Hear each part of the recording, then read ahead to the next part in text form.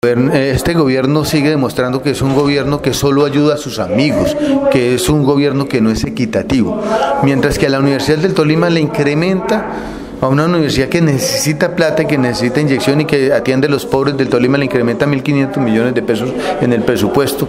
Eh, al conservatorio le da 2.000 millones de pesos y a la Universidad de Ibagué le da 12 mil millones de pesos para que desarrolle un proyecto de pensamiento crítico en los jóvenes y las jóvenes y las jovencitas de este departamento.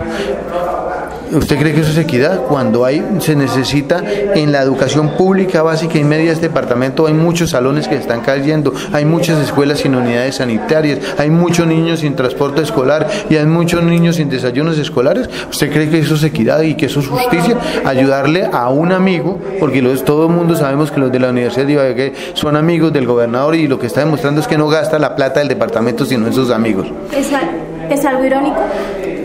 Injusto y no hace parte de, un gobernador que haga realmente equidad con el manejo del presupuesto. Le está ayudando a, a, los privados que tienen como fundamento el lucro y la rentabilidad y está olvidando la educación pública que es su principal objeto y el principal responsabilidad de un gobernante. ¿Cuándo se firmó este convenio contrato y por qué tiempo está para su ejecución? el 2 de marzo del 2019. Aquí lo tengo, es el 0455 del 2 de marzo del 2019, un, valor de 12 mil millones de pesos, de los cuales la gobernación pone 11 mil y pico y el resto lo pone supuestamente la universidad y está para 26 meses de, ejecución. Quiere decir, yo, yo inclusive tengo mis dudas que hayan podido eh, comprometer vigencias futuras eh, de 26 meses cuando no están autorizados por la Asamblea Departamental para o eso. O sea, están firmando un contrato eh, por, por, más del tiempo antes de que se acabe esta administración. se pues, sobrepasan. aquí dice 26 meses y está firmado en marzo del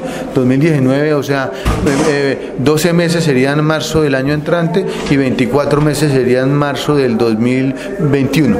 ¿Esto no está bajo los términos legales entonces? Pues Creo sospechar, no tengo los argumentos para decir que de, hasta de pronto no podían estar autorizados para hacer ese convenio. ¿Quién firmó este convenio? ¿Qué secretaría? La Secretaría de Planeación y el Secretario de Educación del municipio, del departamento.